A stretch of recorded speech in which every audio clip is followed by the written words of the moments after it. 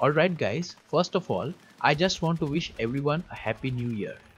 Few days ago, I posted in my YouTube community that I was bringing in another GPU to test the dual GPU method for lossless scaling frame generation.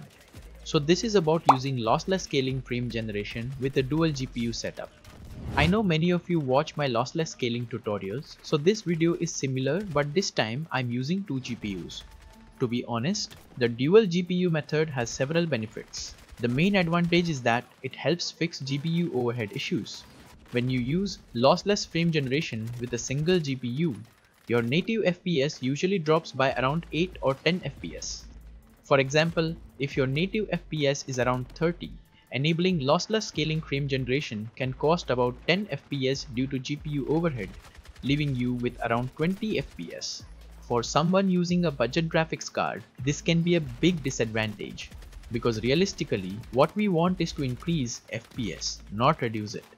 This FPS drop issue exists with almost all frame generation methods, but it's more noticeable with lossless scaling frame generation. It often shows up as more graphical artifacts and higher latency. This is exactly where the dual GPU method becomes very helpful. With this setup, one GPU is used to run lossless scaling, while the other GPU handles the game rendering. Because of this separation, when you use lossless scaling frame generation, the GPU overhead issue is greatly reduced. In other words, your base frame rate does not drop and you don't lose FPS like you normally would.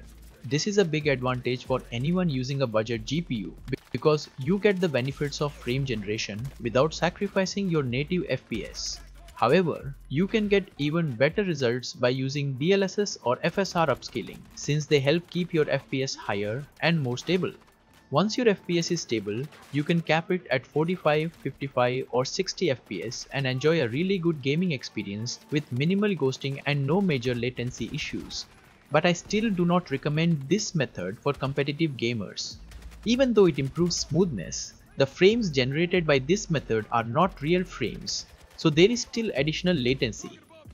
For single player or offline games though, this method works perfectly fine. You can also use this dual GPU method by using your integrated graphics, in short, the iGPU method. In my case, my CPU does not support an integrated GPU because it's an F-series CPU, so I can't use the iGPU method. That's why I had to use an extra GPU. If your CPU does support integrated graphics, all you need to do is connect your monitor to the motherboard's HDMI port. After that, your high performance GPU will still run in the background as a dedicated GPU. In this setup, the integrated GPU handles lossless scaling preferred settings, while the high performance GPU handles game rendering. Just keep in mind that you'll need a decent gaming CPU to get a good gaming experience. One more important thing, to use this method, you need a PC case with decent airflow. In my PC, the airflow isn't very good so one of my GPUs sometimes reaches around 80 degrees C. This happens because of poor airflow and because both GPUs are installed very close to each other with very little gap between the first and second slots. However, if your PC supports integrated graphics, there's no need to worry about this because you don't need to use an extra GPU. But for someone who wants to use it like a dual GPU setup, this is really important. This is the only major issue I have with my PC.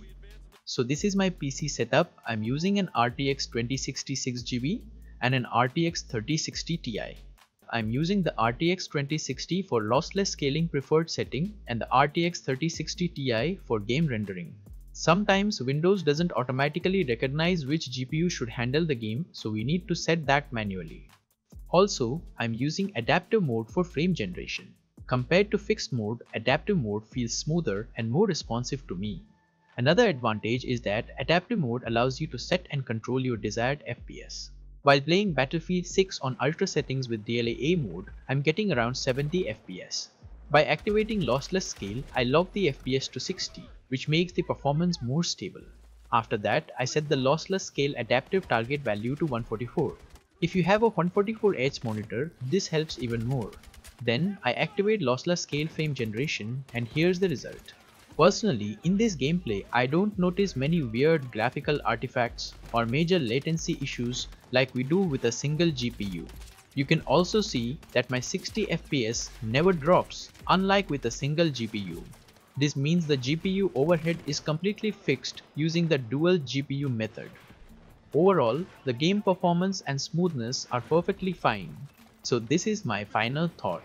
The dual GPU method is a powerful way to improve gaming performance, especially if your CPU doesn't support integrated graphics. By using one GPU for lossless scale frame generation and another for game rendering, you can avoid GPU overhead issues and keep your base FPS stable.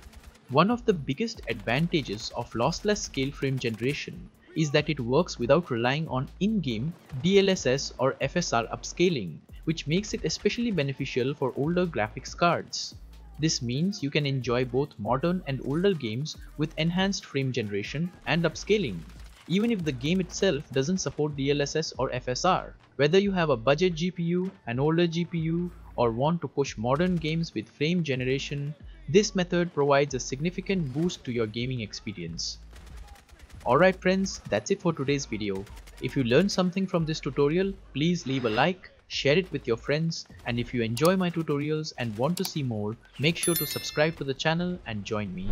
Thanks for watching and until next time, happy gaming.